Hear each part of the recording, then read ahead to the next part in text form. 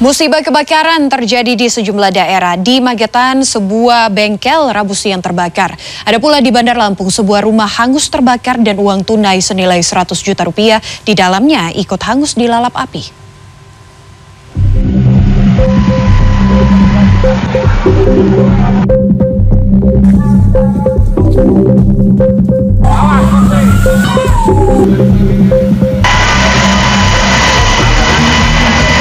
Kebakaran hebat menimpa sebuah bengkel mobil di Desa Ploso Tinil, Kecamatan Panekan, Magetan, Jawa Timur, Rabu siang.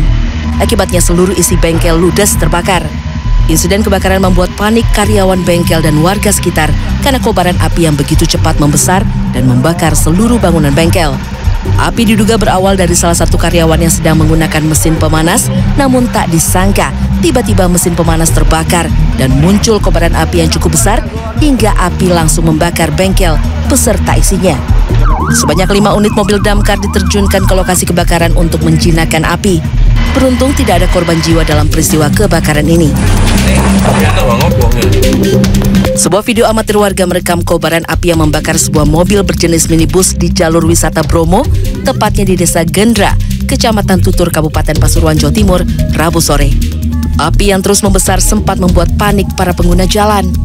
Menurut seorang saksi mata, saat itu mobil yang diketahui milik warga setempat melaju dari arah Pasuruan, tiba-tiba di tengah jalan muncul percikan api yang kemudian langsung membesar. Beruntung sang sopir berhasil menyelamatkan diri. Api berhasil dipadamkan setelah warga melakukan pemadaman secara manual.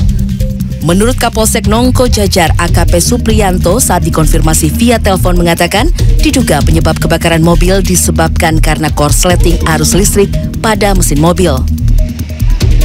Oh. Rumah berlantai dua yang berada di kawasan perumahan elit di Jalan Amites, nomor 3 Kemiling Permai Kemiling Bandar Lampung, hangus terbakar selasa malam.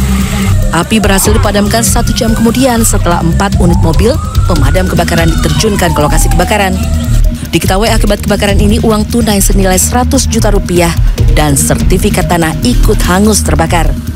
Sumber api diduga berasal dari korsleting listrik dari alat pembakar obat nyamuk elektrik yang terletak di lantai dua rumah.